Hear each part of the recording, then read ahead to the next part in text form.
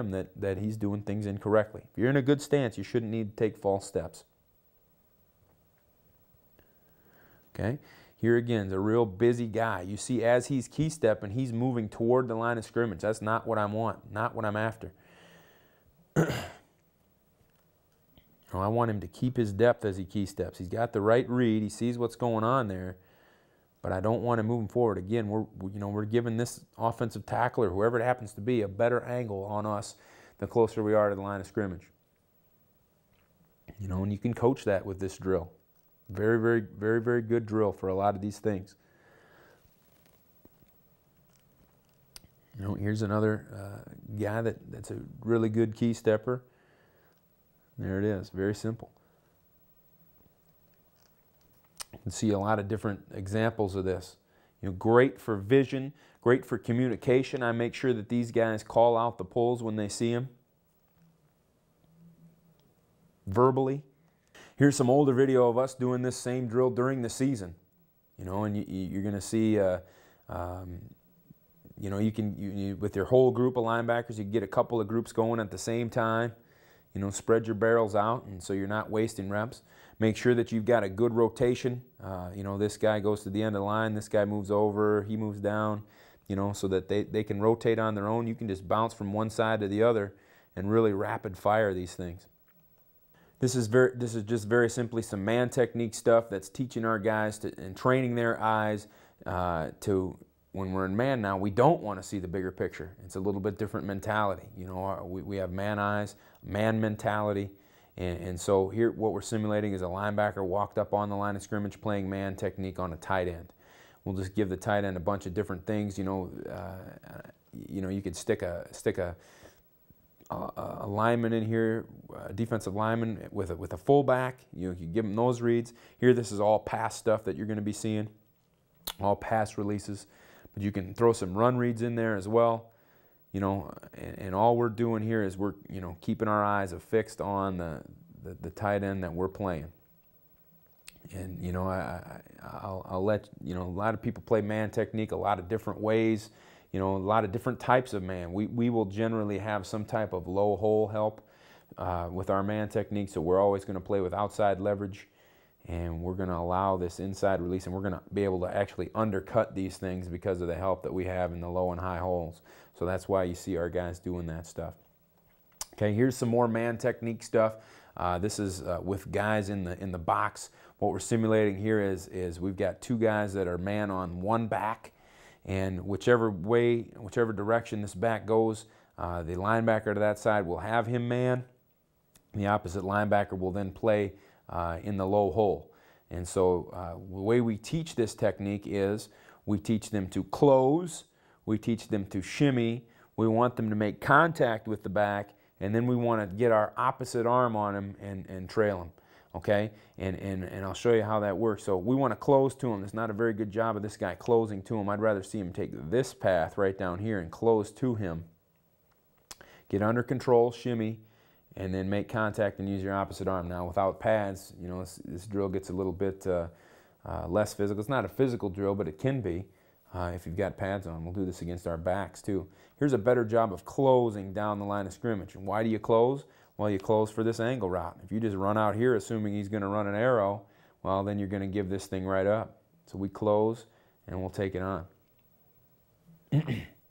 close. There you go.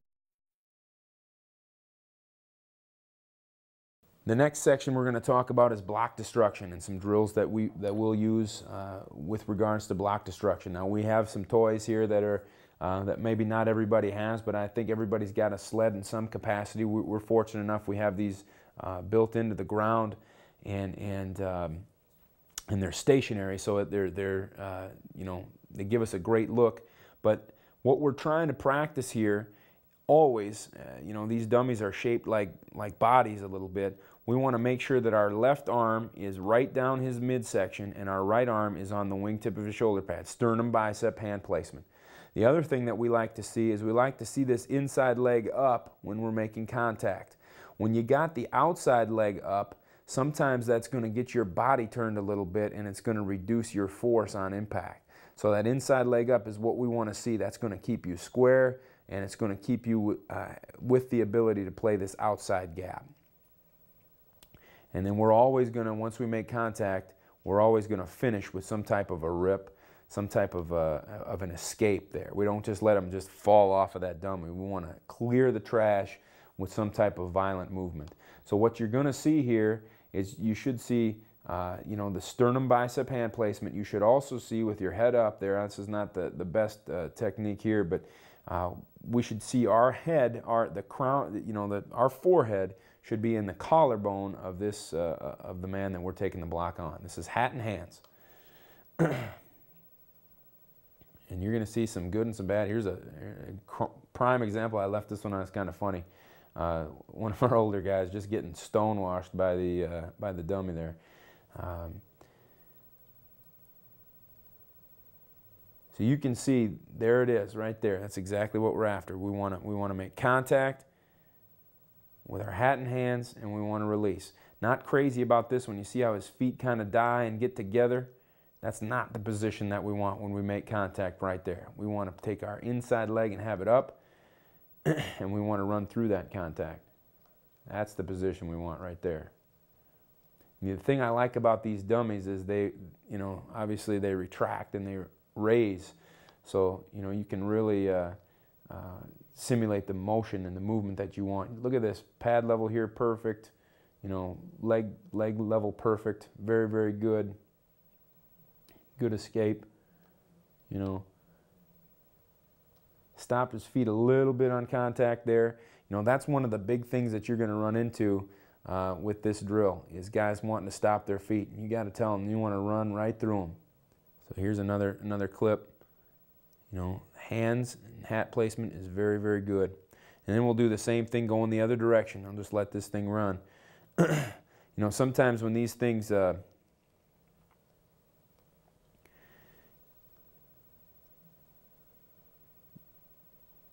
sometimes when these things get uh, retracted, they don't all go all the way down. Sometimes they get hung uh, three quarters of the way up like that.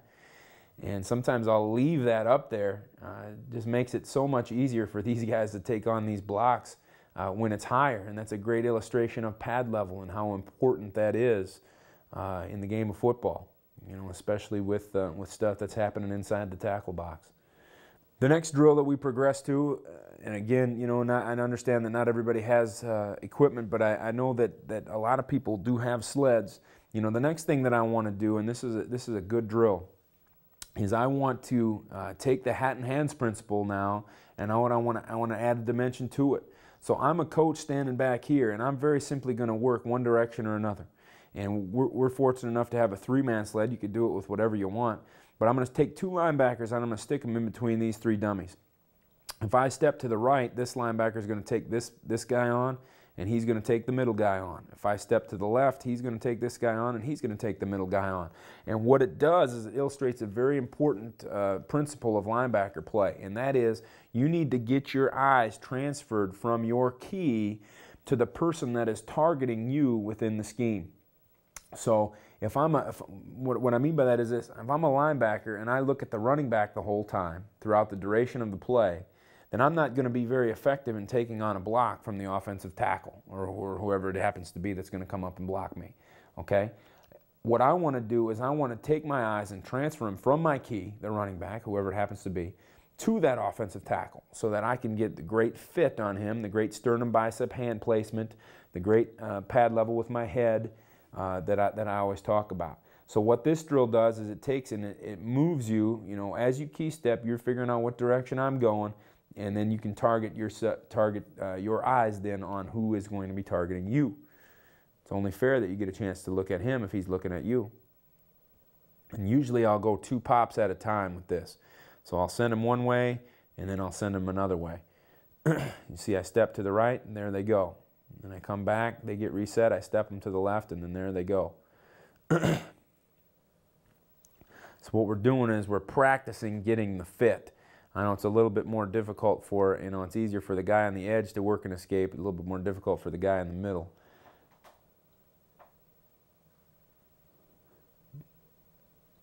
But that's exactly what we're after there.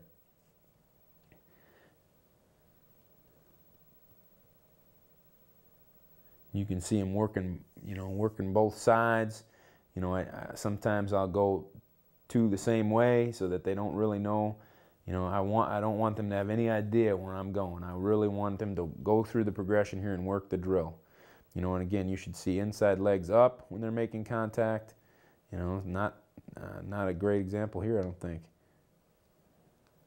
You know, sometimes this uh, this dummy can turn a little bit on you. you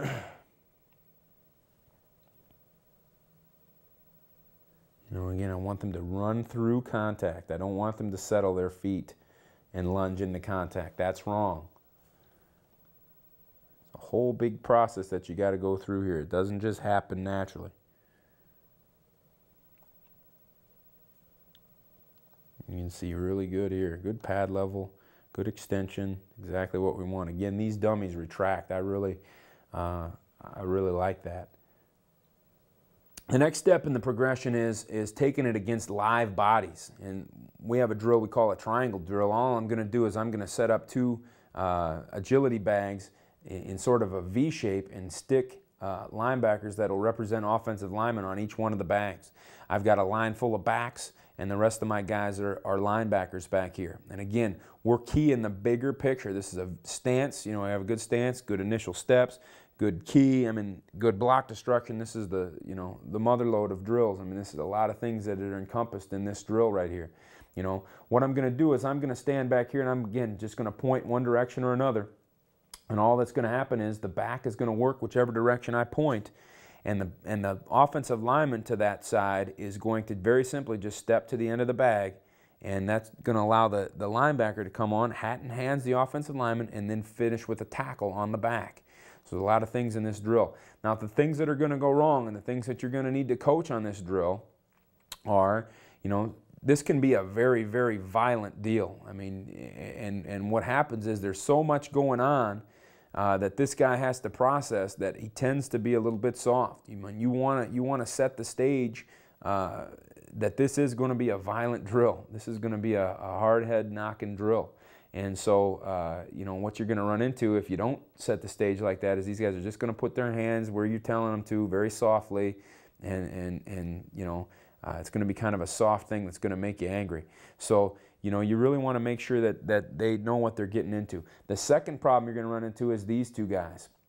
These guys, if you point this way, this guy sometimes is going to want to go way out here. That's not what we want. We don't want this to turn into a big stretch type drill where it's going to end up out here. We want it to happen all within this little box here. Just step to the end of the bag. That's good enough. You know, make, uh, make the block destruction happen here and make the tackle happen here. Great. You know, these guys are going to start to stretch. In fact, you're going to see that on this video a little bit. Okay. The third problem that you're going to run into is these knuckleheads back here. Sometimes what they'll do is they'll go too quickly and they'll be there before you're finished with the block destruction. You got to make sure you coach these guys up to time it up a little bit. Give this guy time to finish with the block destruction before you appear. so here, I pointed this way.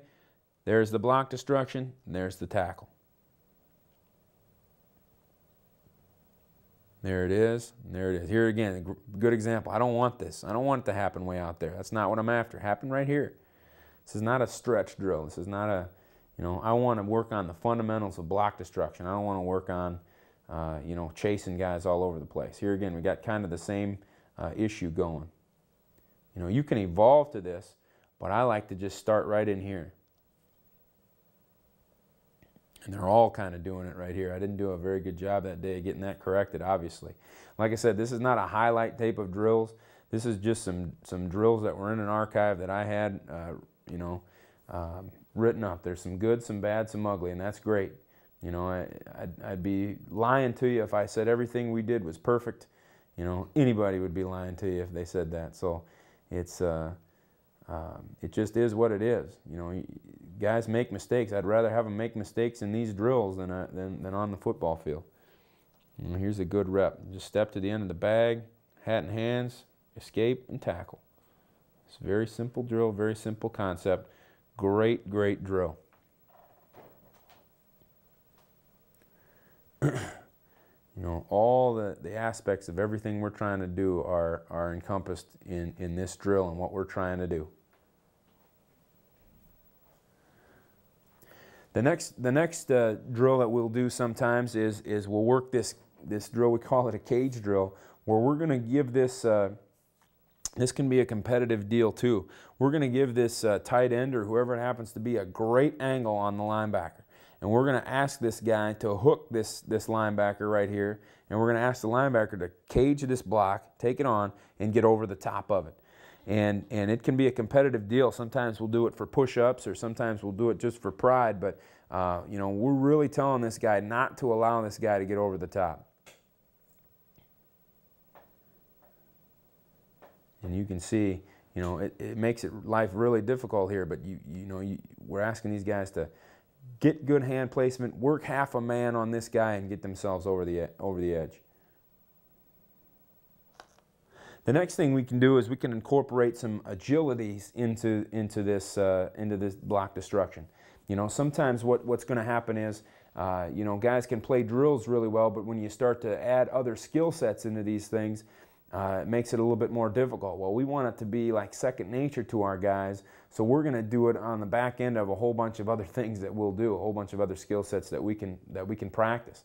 So what I'm going to do, I just set up some agility bags here. I'm just going to have these guys go over the bags, and then come back, working a little change of direction, agility there, and then hat and hands a guy at the end and finish. Very simple. Over the bag, hat and hands and finish. Stick it in the ground, get a great fit, and escape. Easy. You could do this with a, a tackler. You could do this with, uh, I'm sorry, with a ball carrier. You could do this uh, with a with a finish with a, a catch at the end or you could just end it with, uh, you know, you could end it with a, a, fumble recovery, or you could just end it with, uh, you know, you escaping off of the block, which is what we've done here. I mean, be creative in your drills. Okay, here's another drill. Now, uh, obviously, different setting here, but we're working block destruction from a different point of view. Now we're working on some agilities, and we're working on playing off of cut blocks. So here, you know, we're going over the bags. We're going to cut you on one end, we're going to cut you on the other end, and then we're going to scoop up a fumble to finish. Okay? The principles that we're, we're talking about with the feeding cut blocks are this. We want to get our hands down. We want to get our head, our hands on the, the helmet of the guy that's trying to cut us if possible. And we want to get our outside leg back. Now, why do we want to get our outside leg back? Because that's our target leg, and that's the one that they're going to be aiming for and trying to cut. So it's a very easy thing to do if that's all you're doing. But now you throw in some agility bags, you throw in a couple of other things, you throw in the fact that they've got to scoop up and, and recover a fumble, and now it makes it a little bit more difficult to, to execute the technique. so that's why we try to get as much stuff going. Once they got the skills down and know what they're trying to do, we try to do as much stuff with it as we can. Pretty good job with the feet. There you go. There you go. There you go. Got a bend here, recover the fumble. See, that's no good right here. This would be a, a, an incorrect rep. See, his outside foot is up. So even though he got his hands down, he probably just got himself cut or reached. he did it both times.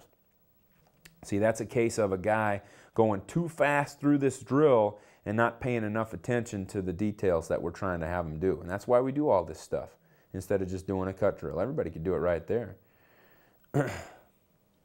See there again, the second time through. Wrong foot up. So worried about the agilities that he never really got that. You know, some problems that you could run into here is these guys maybe throwing that thing a little bit quick, which kind of happened here. You know, he kind of threw this thing before he was even through. I never was able to really get set. But still, it's a body control deal. He's got to have enough body control where he can recover there. Okay, taking it out onto the field. Uh, again, it looks like we're in pads, but we're not. Uh, just have some, some spiders on there. But what I've done now is each of these guys is holding a, uh, it's roughly 25 pound uh, sandbag weight. I've got them in a stance. What I want them to do is explode out of that, you know, practicing low to high. Then I'm going to shuffle them and work them, and we're going to play off cut blocks, and then we're going to finish up with tackles. So we're, you know, working a little explosion, you know, we're then bending to play off the cut, and then we're working low to high double uppercuts on the tackle.